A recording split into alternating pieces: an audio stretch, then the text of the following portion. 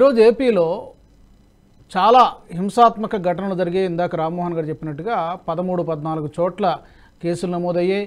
దాడులు జరిగాయి. రక్తాలు వచ్చినట్టు కొట్టుకున్నటువంటి పరిస్థితి. కర్రలతో దాడి చేసుకున్నారు రాళ్ళతో దాడి చేసుకున్నారు. పోలీసుల మీద కూడా కొన్ని చోట్ల వాళ్ళకు కూడా ఇదైంది ఎన్నికల నిర్వహణ ప్రక్రియలో కూటమి ఆరోపిస్తోంది యాక్చువల్గా. పోలీసులు వ్యవహార శైలి బాగలేదు. ఈసీ మీద కూడా ఆరోపణలు ఉన్నాయి మీ అబ్జర్వేషన్ ఏంటి? ఇటువంటి గొడవలు జరిగినప్పుడల్లా ఏదో ఒక వాళ్ళ మీద ఆరోపణలు చేయడం స- సర్వసహజం అండి సో మాకు తెలిసిన విషయం మాకు అందిన విషయం ఏంటంటే కొన్నిసార్లు ఎవరైనా పార్టీ గెలుస్తున్నారు లేకపోతే పవర్లో ఉన్నారు అటువంటి టైంలో గొడవలు ఏమైనా జరిగితే మిగతా వాళ్ళు సైలెంట్ అయిపోతారు. సో అందు గురించి అవి ఎక్కువ బయట న్యూస్ అయ్యేవి కావు. కానీ ఈసారి ఏమైందంటే వీళ్ళకి do or die situation TDP వాళ్ళకి. అందు గురించి వాళ్ళు ఇంకా ఉంటే ఉన్నాము పోతే పోయాము అన్న ఉద్దేశంతో వాళ్ళు తిరగబడ్డారు. అందు గురించి అదంతా హైలైట్ అయింది అని మాకు వస్తున్న సమాచారం అన్నమాట. సో అలాగే ఆంధ్రప్రదేశ్ ప్రస్తావన వచ్చింది కాబట్టి కొన్ని మనము ఆంధ్రప్రదేశ్లో పొలిటికల్ నెరేటివ్ ఎలా చేంజ్ అవుతోంది అంటే హ్యావ్ అండ్ హ్యావ్ నాట్స్ అంటే డబ్బు ఉన్నవాళ్ళు పేదలకి మధ్య జరుగుతున్న పోరుగా అదొక అవుతోంది. ఇంకోటి ఏంటంటే ద్రవిడియన్ కైండ్ ఆఫ్ పాలిటిక్స్ చూస్తున్నాం మనం ఆంధ్ర ఆంధ్రప్రదేశ్లో. అసలు మనకి ఈ ఫ్రీబీ కల్చర్ నేను ఇంత ఇస్తున్నా వాళ్ళు అంత ఇస్తున్నా నేను గ్రైండర్ ఇస్తా నీకు ఫ్రిడ్జ్ ఇస్తా లేకపోతే కలర్ టీవీ ఇస్తా. ఇటువంటి కల్చర్ వచ్చింది యాక్చువల్ ఫస్ట్ తమిళనాడులోనే. మిగతా మిగతా ఏ రాష్ట్రాల్లో లేవలా. అటువంటి కల్చర్ ఇంకా వస్తోంది ఇక్కడ ఆంధ్రప్రదేశ్లో దానివల్ల ఫైనాన్షియల్ ఇన్స్టెబిలిటీ ఇంకా పెరుగుతుంది. తమిళనాడు అయితే డెవలప్డ్ స్టేట్ ఆంధ్ర ఇప్పుడే ఏర్పడిన రాష్ట్రం అది. దానికి మరి వీళ్ళు ఒకళ్ళు ఒక పైన ఒకళ్ళు పోటీ పడి నేను ఇది ఇస్తా నువ్వు అది. ఆ దాంతో ఏంటంటే ఆర్థిక స్థితి అదో గతి అవుతుంది అక్కడ. సో అది ఎవరు పట్టించుకోవట్లేదు. ఇంకోటి మనము యాక్చువల్ చూసుకోవాలంటే ఇరు పక్షాలు చూసుకోవాలి. వీళ్ళకి స్ట్రెంత్ ఎంత వీళ్ళకి స్ట్రెంత్ ఎంత అనేది చూసుకోవాలి. మనము యాక్చువల్ మనకి రామ్మోహన్ రావు గారు చెప్పినప్పుడు అక్కడ రెండే పక్షాలు. ఒకళ్ళది anti Jagan pro Jagan. For Jagan anti Jagan. For Jagan మీరు చూసుకుంటే వారు చేసిన ఎడ్యుకేషన్ రిఫార్మ్స్ బాగున్నాయి అంటున్నారు. వెల్ఫేర్ స్కీమ్స్ బాగున్నాయి అంటున్నారు. అంటే వారిని ఎలా చూస్తున్నారంటే ఒక పేదలకి అన్నగా చూస్తున్నారు. ఇంకోటి ఏంటంటే ఇంకో కాన్ఫ్లిక్ట్ ఎలా వస్తుందంటే అక్కడ నెరేటివ్ వారి విషయంలో వన్ వర్సెస్ ఆల్ అవుతుంది. అంటే మీరు ఇది వరకు చూసుకుంటే రాజశేఖర రెడ్డి గారు కూడా రెండు వేల తొమ్మిదిలో అలాంటి పెక్యులర్ ప్రాబ్లం వచ్చింది. వాళ్ళకి అంతర్గతంగా కూడా వారికి విరోధించే వాళ్ళు ఉన్నారు. టీడీపీ వాళ్ళు మహాకూటమి ఏర్పాటు చేశారు. సో అటువంటి దానికి ఏంటంటే ఆయన నిలదొక్కున్నారు అప్పుడు. బట్ ఒక విమర్శ ఏంటంటే ప్రసాద్ గారు. సరే మీరు అన్నట్టుగా ఎడ్యుకేషన్లో ఇంగ్లీష్ మీడియం ప్రవేశపెట్టడం కానీ లేకపోతే ఇప్పుడు సంక్షేమ పథకాల్లో కొన్ని డైరెక్ట్ క్యాష్ నేరుగా నగదు వాళ్ళ అకౌంట్లో జమ కావడం కానీ ఇవన్నీ కొంతమేరకు అవసరమే దాన్ని మనం ఎవరు కూడా కాదనలేం. బట్ డెవలప్మెంట్ విషయానికి వచ్చేసరికి పూర్తిగా గాలికి వదిలేశారు కేవలం అప్పులు మీరు మీరు మీరు మీరు నన్ను పూ- పూర్తిగా కంప్లీట్ చేయాలన్నమాట. నేను ఫర్గ్ ఉండే ఫ్యాక్టర్స్ చెప్పాను కానీ ఆయనకి ఎగెన్స్ట్ ఉండే ఫ్యాక్టర్స్ ఇంకా చెప్పలేదు నేను. చెప్పండి చెప్పండి.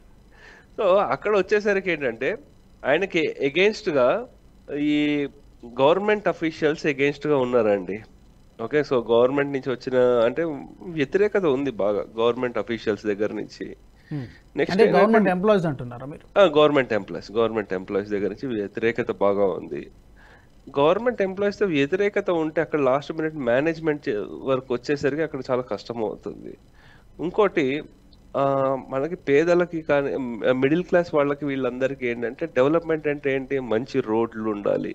లేకపోతే మంచి మంచి హోటళ్ళు లేకపోతే ఇటువంటి ఫ్లెక్సిబిలిటీలు ఏవైతే ఉన్నాయో అది డెవలప్మెంట్ మెయిన్. ఓకే?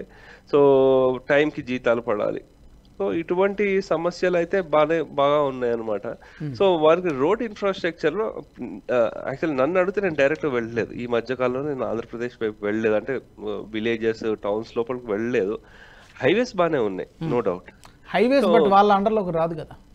అదే నేను చెప్తున్నాను కదా లోపల రోడ్స్ ఎలా ఉన్నాయి అంటే స్టేట్ హై స్టేట్ రోడ్స్ ఎలా ఉన్నాయి అనేది నేను ఎక్కువ చూడలేదు. కానీ నాకు మిత్రులు చెప్తుంది ఏంటంటే అక్కడ సమస్య ఉంది.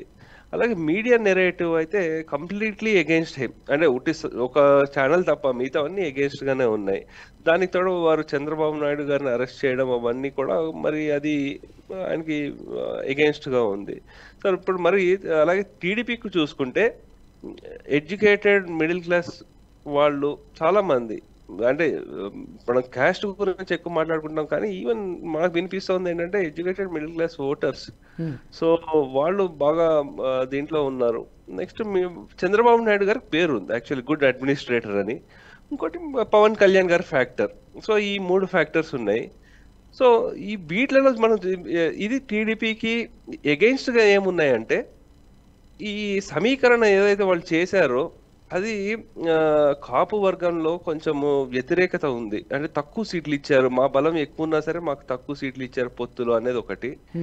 ఇంకోటి బీజేపీ వాళ్ళలో కూడా చాలా మన క్యాడర్లో అంటే వాళ్ళు ఇప్పుడు కంటెస్ట్ చేస్తున్న నాయకులు వాళ్ళందరూ ఈ పార్టీ ఆ పార్టీ నుంచి వచ్చే వాళ్ళు ఒకళ్ళు ఇద్దరు మినహా తప్ప. సో అందు గురించి ఆ, కలిసి పోటీ చేస్తున్నాము అనేది ఆ స్పిరిట్ లేదు. అంటే నాయకులు కలిసినంత ఈజీగా కింద స్థాయిలో కేడర్ కలవలేదు. అంటే మాటలు ఎలా అన్నారు? మోదీ గారిని ఏ ఏ మాటలు అన్నారు? అమిత్ షా గారి కార్ల మీద రాళ్ళు వర్షం కురిపించారు కదా తిరుపతిలో. అవన్నీ ఎక్కడ పోవు అవి. అవి ఒకసారి మాట ఒకసారి అనిన తర్వాత అంత ఈజీగా కార్యకర్తలు అది కూడా వాళ్ళకు ఉండే కార్యకర్తలు ఎప్పుడు వాళ్ళు ముప్పై ఏళ్ళు నలభై ఏళ్ళ నుంచి ఉన్న కార్యకర్తలు. వాళ్ళకి క్యాడర్ ఆ పార్టీ నుంచి ఈ పార్టీ నుంచి వచ్చిన జాయిన్ అయిన వాళ్ళు కాదు. వాళ్ళకి అందుకు వాళ్ళు చాలా హార్ట్కి తీసుకున్నారు అనమాట ఇంకా అది సరిగా అవ్వలేదు అది. దాంతో అనపర్తి అనే సీట్లు వాళ్ళు మార్చారు కూడా. అది టీడీపీకి ఇవ్వడం ఏదో జరిగింది. సో ఈ ఈ అంతటి దీంట్లో నెక్స్ట్ మిగతా వచ్చేసి బీజేపీ పరిస్థితి ఏంటి? బీజేపీకి ఏంటి ఆంధ్రప్రదేశ్లో అంటే లోక్సభ పరంగా చూసుకుంటే ఎవరు గెలిచినా సరే వీళ్ళకి twenty five seats support compulsory ఉంటుంది. అది హార్డ్ రియాలిటీ మనం ఒప్పుకోవాల్సింది.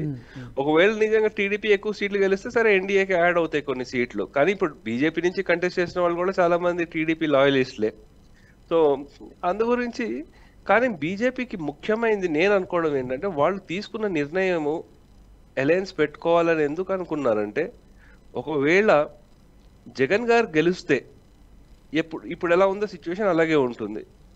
ఒకవేళ టీడీపీ గెలిస్తే ఒకవేళ ఆ టైంలో అలయన్స్ లేకపోతే ఏమవుతుందంటే ఈ దక్షిణ భా- భారతదేశంలో అన్ని రాష్ట్రాలు అపోజిషన్ అయిపోతుంది.